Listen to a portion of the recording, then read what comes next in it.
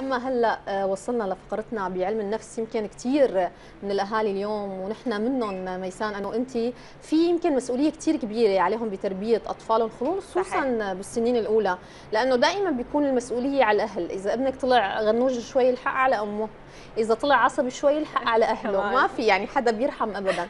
ففي مسؤولية كثير كبيرة اليوم على الأهالي ضمن ظروف صعبة عم نعيشها صحيا بالمطلق كمان اقتصاديا قديش فينا فعلا من السنين الأولى نربي أولادنا على كثير من المبادئ والأخلاق قديش فينا نعلمهم الصح من الغلط. أي سن مناسب لنبلش هي التفاصيل كلها مع أطفالنا. رح نناقش هذا الموضوع مع ضيفتنا الأخصائية في علم النفس الدكتورة سلام قاسم. يسعد صباحك واهلا وسهلا يسعد صباحكم يا رب ويسعد صباح المشاهدين. يسعد, يسعد صباحك. يا رب. يمكن الأهل من وقت ما بيكون ابنهم كثير صغير بيقولوا إنه خلص أنا أخذ قرار إنه بدي ربيه بدي أعلمه الصح من الغلط. وبيبدوا من عمر صغير كثير يقولوا له لا بصير وما بصير للطفل. بأي عمر أو إمتى بيقدر بيقدر يدرك الطفل إنه هذا الشيء صواب أو هذا الشيء خطأ. أول شيء المرأة من مجرد هي تكون حامل أول ما بتولد أو بالمرحلة اللي هي حامل فيها بتقعد بتفكر إنه أنا كيف بدي ربي ابني وبدي اساوي أحسن شيء وبدي أعلمه أحسن شيء. فبترسم مخطط لها مخطط لابنها كيف بده يصير بالمستقبل.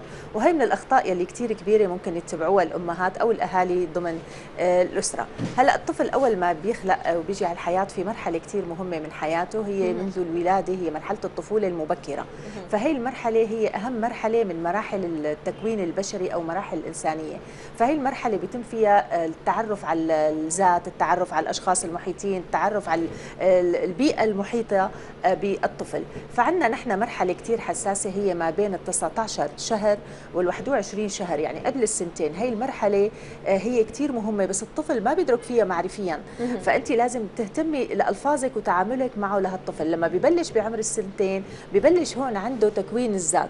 ولكن هون الطفل كمان لا يعي الصواب من الخطأ لأنه هو الصواب والخطأ بالنسبة له ضمن مفاهيمه ضمن قدراته. لما ببلش الطفل بعمر السنتين ببلش عنده مراحل إنه بده يبلش بيمشي المشي الجري آه ببلش لما بصير بعمر ثلاث سنوات بتبلش عنده بقى بعض القدرات إنه ممكن تتضح. ولكن مفاهيم الصح والخطأ تتشكل خلال عمر آه مرحلة الطفولة المبكرة حتى من عمر ثلاث سنوات لست سنوات. بعد ثلاث سنوات فينا نقول. تماما. فهي بهالمرحلة انت ممكن تعطيه معلومات في بعمر الأربع سنين. الطفل ببلش عندك بقى إنه هو بيحاول يسألك عن كثير شغلات. أما بثلاث سنين ببلش مثلا تقولي له أعطيني الكاسة بيعطيك إياها. بس لكن هو هون ما ببلش إنه بيحسن يسألك للأربع سنوات ليحسن يسأل. وبتبلش المفاهيم عنده تتشكل شوي شوي لحتى يحسن يتجاوب مع المحيط. حتى مثلا مدرسة التحليل النفسي هي بتقول آه إنه الطفل هي المرحلة أهم مرحلة. فهون انت بتحسني تعلميه العادات والتقاليد.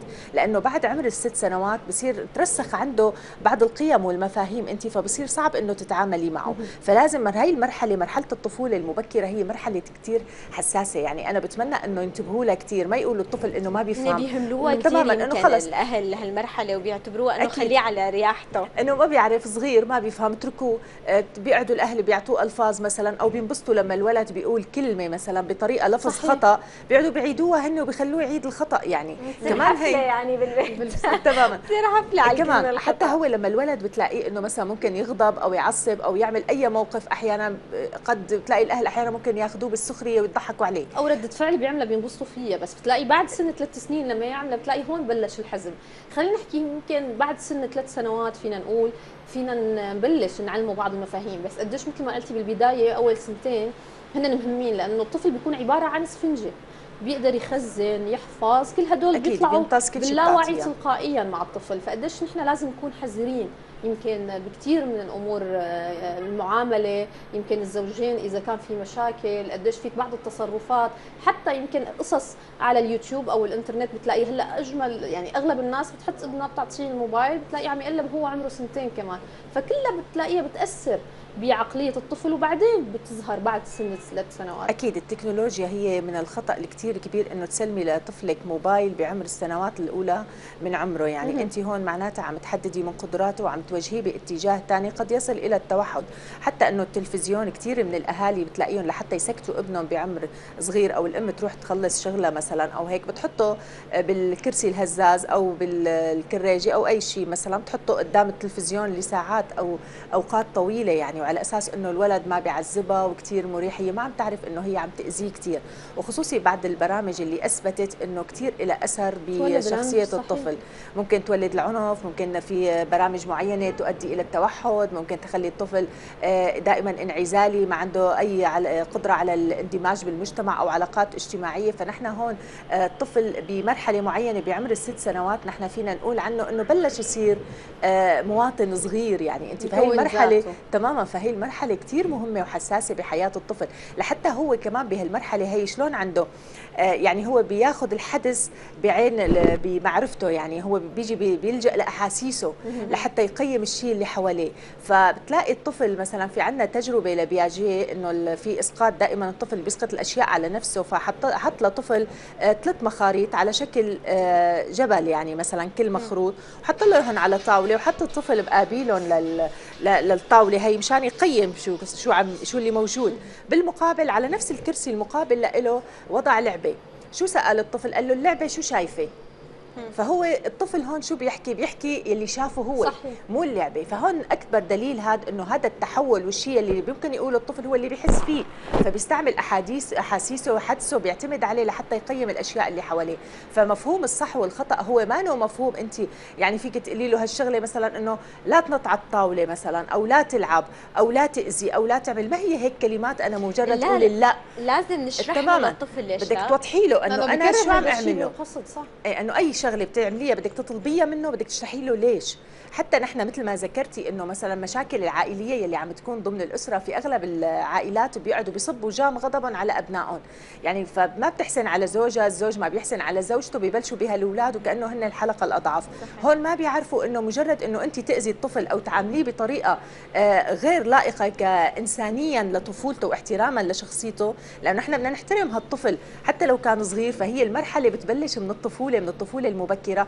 فانت لما بتبلشي بتعاقبيه بتبلشي بتأذيه ممكن تضربيه هو ما رح يحسن يرد نفس لك انت يضربك أو يضرب أبوه. بالمقابل مين بيضرب؟ ممكن يضرب آخرين. تماما بضرب أخواته بالبيت بيعذبك يعني بصير طفل عنيد. طفل عنيد مو بالمعنى الإيجابي اللي له شخصية إيجابية مثلا بيحسن يعبر عن ذاته لا بصير طفل عنيد. ليثبت نفسه بيأذي الآخرين. ونعتبر الحزم الحزم الحزم يلي عم يكون موجود من قبل الأهل آه، باتجاه تجاه أطفالهم مو دائما هو حزم صحيح يعني لازم هذا الحزم يوجه بطريقة صحيحة ويكون في حوار بينهم وبين طفلهم حتى يمكن لو كان عمره ثلاث سنين. آه، هلأ آه بدي أوضح مفهوم كثير صغير هو الفرق ما بين الحزم والقسوة. قسوة نعم. تماما هلأ الحزم مطلوب. الحزم مطلوب. أما القسوة مرفوضة. الحزم إنه أنا لما الطفل عندي بيعمل شيء غلط لأ لازم صحح له الخطأ مهما كان. لازم صحح له الخطأ وفي طريقة لتصحيح الخطأ. أما القسوة هي اللي بتكون عن طريق الضرب الزرجر كلمات غير لائقة آه، استهزاء بالطفل إهانة لشخصيته هي مرفوضة تماما. أما الحزم هو مطلوب بالتربية وضروري جدا وهو من الأساليب المهمة. يعني حتى العقاب من الأساليب المهمة كثير بالتربية. ولكن كيف العقاب بيكون؟ أخطأ الطفل لما بيخطئ الطفل أنا شو بعمل؟ ممكن عاقبه مثلا إنه آه، آه، أعزله مثلا عن لعبه بيحبها مثلا لساعات. كثير غلط إنه انت تعاقبي الطفل لمدة أسبوع. أو تعاقبيه ليومين لأنه هو مفهوم الزمان والمكان عنده بمرحلة معينة هو ما متشكل.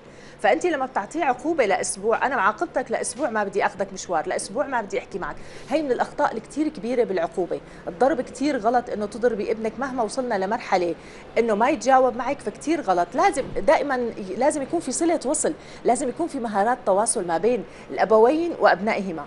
فلما بيكون بينفقد هالحاجز هذا وما في مهارات تواصل هون بصير نحن إنه أنت ما بتحسني تربي ابنك تربية صح مشان هيك كثير أهالي بيقولوا لك يعني مثلا أنا إنه ما عرفوا يربوه مثلا الناس بيقولوا لك أهله ما عرفوا يربوه فشو معنات التربية؟ معناتها هي هي مرحلة الطفولة المبكرة من الصغر أنت ما عرفتي توجهي ابنك صح ما عرفتي تربيه صح لازم الحزم بمواقف معينة ولكن القسوة هي كثير غلط. صحيح. أكيد يمكن مثل ما قلنا ببداية حديثنا مسؤولية كثير كبيرة على الأهالي اليوم تربية أولادهم بس مثل ما قلتي يمكن شو بنزرع؟ اولادنا بنحصده بدنا نشكرك أكيد على وجودك معنا بدنا نوجه تحية كمان لكل الأمهات يمكن اللي عم يربوا هلأ ضمن ظروف استثنائية ويمكن أكبر مسؤولية تقع على عاتقهم اليوم. شكرا كثير لك آه شكرا لكم وبحب أنا كمان وجه رسالة. هلأ نحن أكيد بظروف اقتصادية كثير صعبة والظروف الصحية يلي على العالم هي كله بياثروا مو بس علينا نحن حتى بالكورونا لما الأهالي حاولوا إنهم يضبطوا أولادهم كانت في احدى في طرق كثير خطأ بتوصيل الفكرة والمفهوم للأطفال. صحيح. تميزوا بالهدوء بالروية بالتعامل مع أبنائكم. آه، خليكم ريلاكس دائما. هذا الطفل هو آه، أملك وهو رسالتك في الحياة فخلي رسالتك تكون صح. فأنت بتحسي حالك لا يوجد في الحقيقة امرأة عاطلة عن العمل. فمجرد آه، كونها أم والأمومة في ذاتها من أشرف الأعمال وأفضلها. شكرا كثير لك وللمعلومات اللي قدمتنا والنصائح يا رب تكون وصلت لكل الأمهات وكل الأهالي. شكرا كثير لك شكرا لكم.